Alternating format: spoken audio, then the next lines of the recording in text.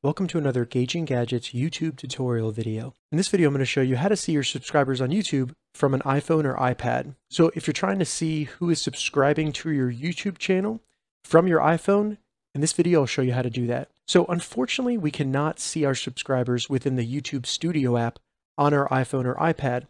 So instead, what we have to do is open up the browser, and I'll be using the Safari browser on my iPhone.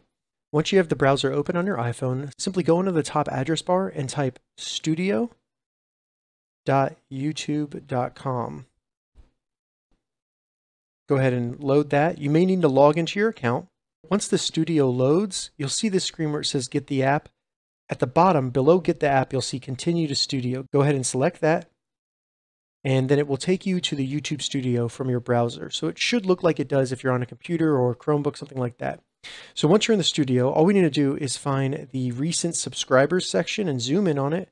So as you can see right there, and then select see all. This will show you all the subscribers you have. And in the top right, you can select this little drop down right here, select the date range. And if you want to see all your subscribers, go to lifetime, and then you can see them all right here. You can go through the different pages of subscribers. And there you go. All right, so that's how you see your subscribers on YouTube on an iPhone. If you have any questions about this, leave a comment below. I'll get back to you as soon as I can. If you'd like to see more YouTube tutorial videos, check the links in the description.